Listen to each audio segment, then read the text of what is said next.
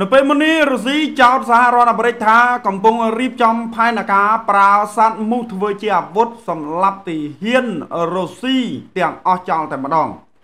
សមាគមប្រិមិត្តវិលមកកាន់នីតិព័រមានជាតិនិងអន្តរជាតិថ្មីថ្មី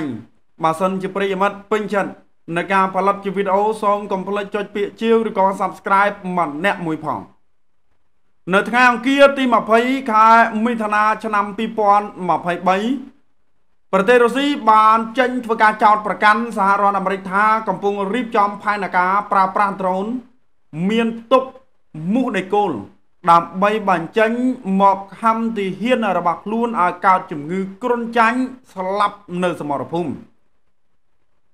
នៅក្នុងការអះអាងរបស់លោកអាយហ្គាអង្គីរីឡូប្រធានផ្នែកការពារជាតិវិទ្យុសកម្មគីមីនិងជីវសាស្ត្រនៃប្រជាជាតិរុស្ស៊ី បានចេញធ្វើការចោទប្រកាន់ថាគោលបំណងរបស់អាមេរិកគឺធ្វើឲ្យទាហានរុស្ស៊ីកើតជំងឺគ្រុនចាញ់ឬស្លាប់ដោយសារជំងឺតែម្ដងសំដៅទៅការបាញ់ទំនប់កាងខៅកាលោកគីរីឡូបាននិយាយថាទឹកជំនន់នៃតំបន់ខឺសុនអាចធ្វើឲ្យស្ថានភាពស្មុគស្មាញរួមទាំងតាក់ទងនិងមេរោគដែលឆ្លងតាមរយៈសត្វល្អិតខំផងដែរ លោកបានបន្តបន្ថែម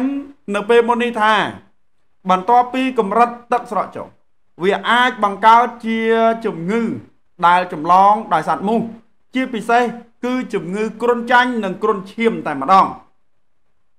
សហរដ្ឋអាមេរិកបានបង្ហាញកាន់តែច្បាស់អំពីការត្រៀមលក្ខណៈរបស់ខ្លួន សម្រាប់ប្រើប្រាស់ដ្រូនដែលត្រូវបានរចនាពិសេសដើម្បីផ្ទុកសត្វមូសដេកូលហើយលែងដើម្បី ឲ្យទៅខំទីហ៊ានរបស់លោកវ្លាឌីមៀពូទីន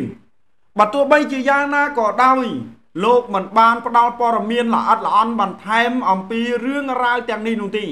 ប៉ុន្តែនិយាយថាតាមការពណ៌នាយន្តហោះដ្រូនសហរដ្ឋអាមេរិកអាចមានភ្ជាប់ជាមួយឧបករណ៍ដែលមានទុកសត្វល្អិតធ្វើដំណើរទៅកាន់តំបន់មួយ ហើយលែងសត្វមូសដើម្បីបង្កគ្រោះថ្នាក់ដល់ទាហានរុស្ស៊ី គូបញ្ជាក់ជូនផងថាការអះអាងរបស់លោកគីរីឡូកើតឡើងខណៈមេចារកម្មកម្ពុជារបស់ប្រជាជាតិរុស្ស៊ីបានចេញធ្វើការនិយាយកាលពីថ្ងៃច័ន្ទទី19ខែមិថុនាឆ្នាំ2023កន្លងទៅនេះថាលោកសង្ឃឹមថាអង្គការឃ្លាំមើលនុយក្លេអ៊ែររបស់ UN និង EU នឹងពិនិត្យមើលសកម្មភាពនុយក្លេអ៊ែររបស់អ៊ុយក្រែនខណៈលោកនិយាយថាអាចជាសញ្ញាថាទីក្រុងគីវ កំពុងផលិតគ្រាប់បែកកខ្វក់ហើយយោងប្រភពពី Daily Mail អញ្ចឹងប្រិមិត្តបាទសង្គ្រាមទាល់តែមានល្បិចបាទល្បិចនេះគឺល្បិចរៀងខ្លួនតែម្ដងឥឡូវនេះបាទកូនចៅរបស់លោកពូទីននឹងចេញធ្វើការបាទទម្លាយថាសហរដ្ឋអាមេរិកនឹងត្រៀមប្រើសัตว์មូសបាទសัตว์មូសដេកូលដល់ប្រិមត្តណាបាទសัตว์មូសដេកូលនឹងគឺដើម្បីឲ្យដឹកតាមដ្រូនទៅហើយប្រឡែងឲ្យខំបាទទីហ៊ានរុស្ស៊ី ឲ្យកើតជំងឺគ្រុនឈាម បាទជំងឺគ្រុនចាញ់អីចឹងទៅបាទយីបាទប្លែកមែនតែនប្រិមិត្ត